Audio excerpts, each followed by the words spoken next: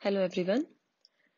Today I'm going to teach Nationalism in Europe, which is chapter 1 of history.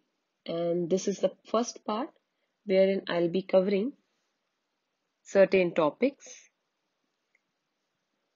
Absolutist form of government, utopian society, nation state, upprint by Frederic Sorrieu, plebiscite. Hello everyone. Under absolutist form of government, it is that form of government which is having no restriction.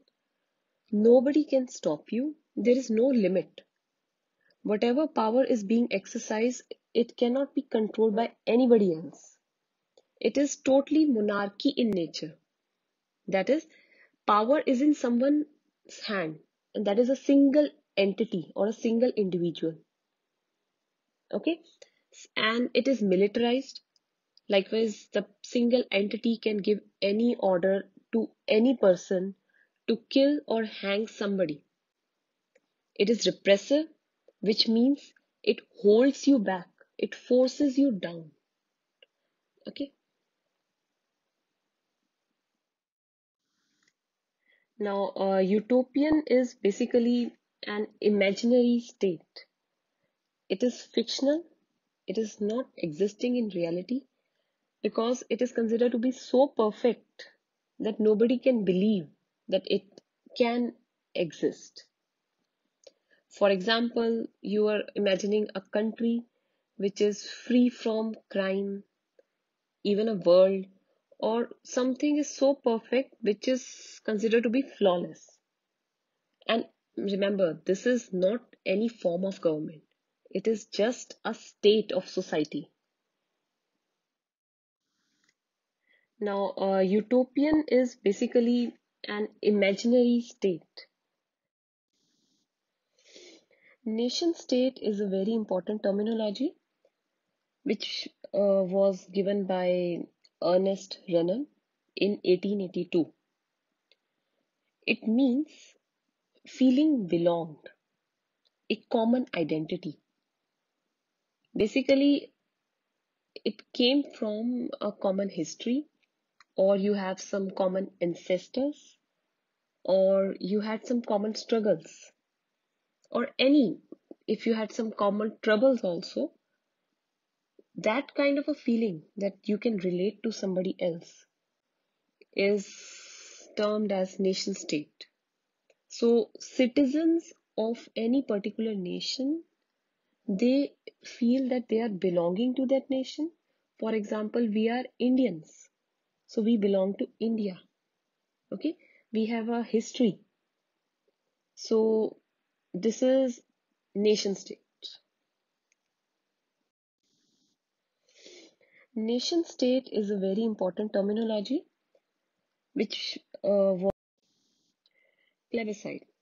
This is another terminology which means vote by all the citizens or voting by the full population of a country or even a population of any region, particular region. So, why do you vote? You basically vote in order to either accept or reject a given proposal, or you can say you vote for the person you would like to lead you. While we cast our vote, we look into certain criterias whether that person is eligible to run our nation or our area.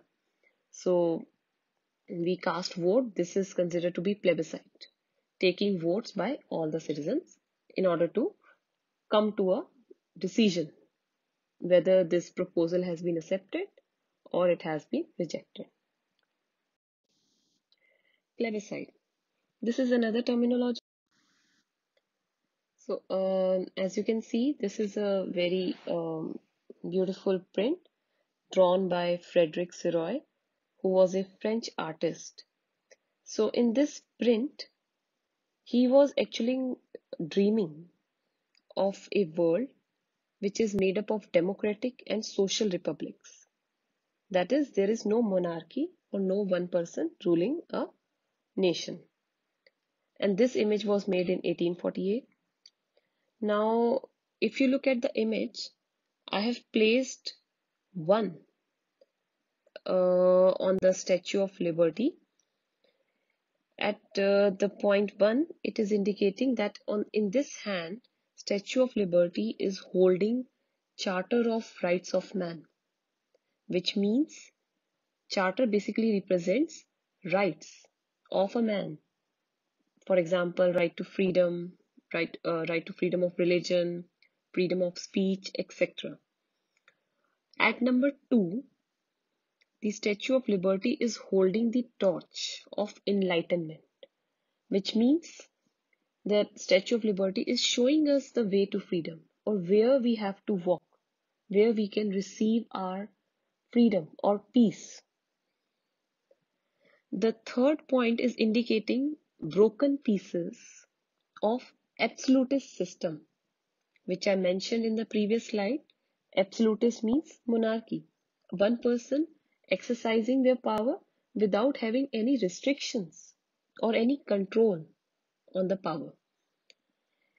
Number four is indicating different nations through their different flags and their costumes. So, and the fifth number is indicating United States, which has already crossed the Statue of Liberty and it is way far ahead. After the United States, it is followed by Switzerland, which I have not indicated. The second one is Switzerland.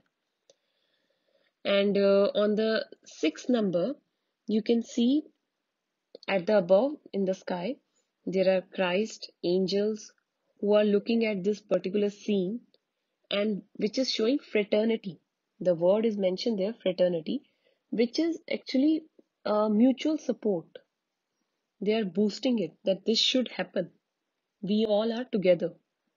So we are like a nation state. So um, as you can see, this is a very um, beautiful print drawn by Frederic Sorrieu, who was a French artist. So in this print, he was actually dreaming of a world which is made up of democratic and social republics. That is, there is no monarchy or no one person ruling a nation. And this image was made in 1848 now, if you look at the image, I have placed one uh, on the Statue of Liberty. At uh, the point one, it is indicating that on in this